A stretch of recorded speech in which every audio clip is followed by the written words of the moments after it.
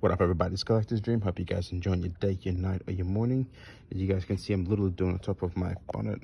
Um, thought I'd do a quick video of the last Fast and the Furious set that's to come out. So we have the first one, which is the Integra from the first film. I actually don't remember who drove this car, to be honest. Um, it's got the decal for the OG team, team, but who was driving it?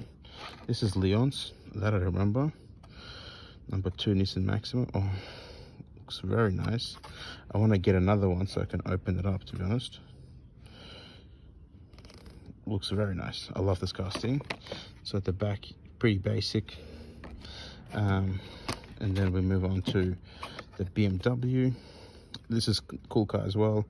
Not decals. This is what I'm not a fan of the new Fast and the Furious cars. This is the second edition of this of this one, but um, there's nothing really in it you could literally just put this into modern classic retro entertainment whatever it is same goes for the mustang like the blue lines i'm pretty sure come standard on some of these mustangs um, they don't really differentiate from themselves as being fast and furious cars in, in that in that sense that i'm not a fan of it and the alfa romeo from the last film alfa romeo from fast x not bad. I do like the color scheme. I'm Not gonna say anything. The color scheme is fantastic on it. Um, yeah. What do you guys think of the set?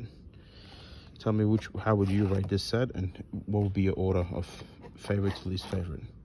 Is the same as mine, where it's literally just two, one, three, four, five.